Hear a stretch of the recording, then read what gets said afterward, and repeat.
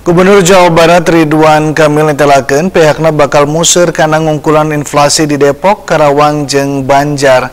Eta hal teh disorang sangkan mapagahi Ramadan tur lebaran, harga kabutuh pokok di tilu lalawak bisa dikadalikeun upamana wae ngaliwatan operasi pasar.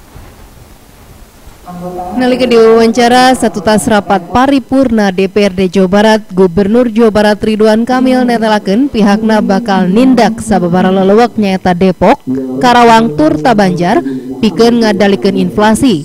Dirina ngerong di Depok harga cabe jeung bawang ngajawul, di Karawang harga hayam sarta di Banjar harga endog hayam anu naik kaleuwihi.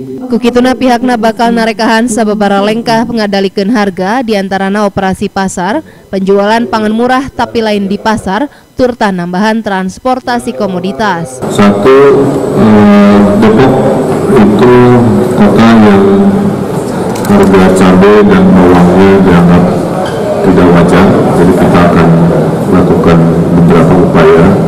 Dua di Karawang, tiga tur di Banjar. Nah kita sangat spesifik akan fokus di daerah-daerah itu sehingga secara umum nanti menjelang akhir Ramadan dan Lebaran relatif harga mungkin naik tapi lebih terkendali. Masih cek Ridwan Kamil, secara umum harga kabutuh pokok di Jawa Barat mampu dikadalikeun. Iwalti di tilu daerah nyaeta Depok, Karawang, jeung Banjar. Budi Hartati, Bandung TV.